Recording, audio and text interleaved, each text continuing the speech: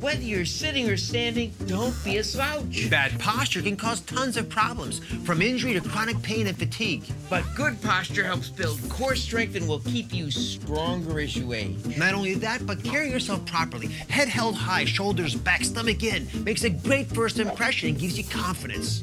It'll give you the upper hand professionally and personally and keep you being beautiful inside and out. Hi, I'm Dr. Mehmet Oz. And I'm Dr. Mike Roizen. We're the YOU Docs. Body shape. Prehistoric men and women had to make decisions about how and with whom they were going to make, and they did it in microseconds. They didn't get those messages from the media. There were no ads on rocks and no fashion shoots with buffalo hides. They had to make the ultimate reproductive decision based on a novel concept each other.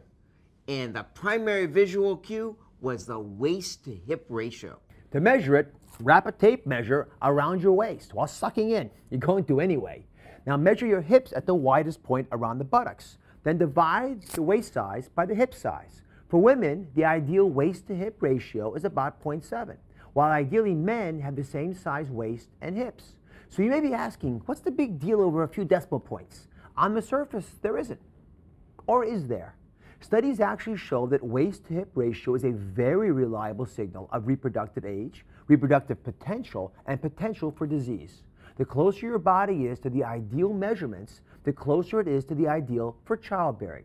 Now, why is this? One of the reasons is the omentum. Take a look at this animation and I'll show you why. As you close it on the belly, that yellow pad that we just lost was the omentum. Now, there's the liver in the upper left-hand part of the image. The green thing is the gallbladder, and that food's leaving your stomach, going into the first part of your small bowel. And when it enters into the small bowel, it mixes with green bile. Like, like any other soap, it'll break it down into small particles, and those particles of food nutrients will go across the wall into the big vein called the portal vein that feeds the liver. If the food that you're eating is good for you, your liver loves it. It changes it around and makes it what you need for your body. But if the food's not good for you, it makes your liver fatty. Watch, see it turn white? You basically have a foie gras, a fatty liver. Now, let's go back to the omentum. Sounds like momentum without the M. There it is. That yellow pad is now beginning to get larger. As you eat more and more of the wrong kinds of food and too much of it, you get that big belly that makes us worried about your waist size.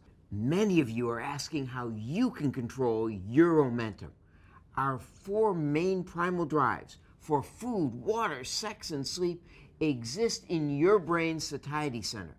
Your brain and bodies need those elements to prevent our body chemistry from spinning out of control like a hydroplaning vehicle. Now, interesting things about these drives is that they all rely on each other a bit.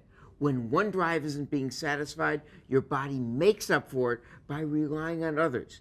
If you're not getting enough sleep, for example, then you may compensate for that lack of fulfillment with an out of control sausage binge.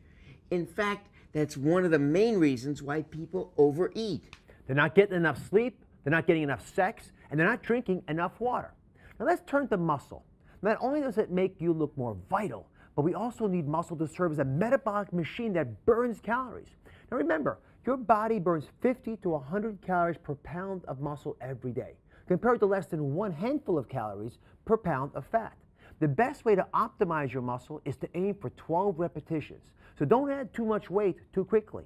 In addition, you can help get that elongated look by stretching your muscles through yoga. Make sure that you train to exhaustion so you can really struggle with the last few repetitions. Achieve this goal with either higher weights or lifting them slower so that your muscles are really taxed by the exercises and get the message to build themselves up in preparation for the next battle. Fight fat with fiber, like in 100% whole grain carbohydrates, oatmeal, fruits, and vegetables. It's also smart to eat a little healthy fat 30 minutes before meals, like a handful of nuts to allow the satiety signal to go from your brain to your stomach and back again so you avoid overeating. You want to get calcified.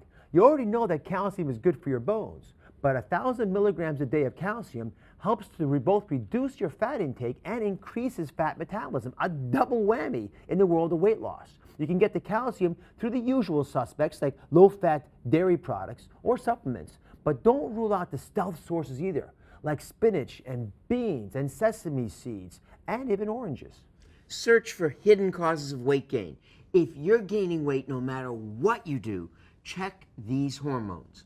Low thyroid function slows down your metabolism, so you can't burn the calories the way you used to.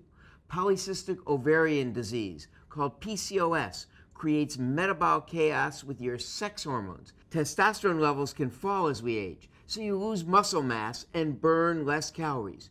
Your growth hormones usually decrease with age, and the best ways to sustain it are sleep and exercise. So now you know the importance of the waist to hip ratio and how to nudge the biology of blubber in the right direction to minimize your omentum.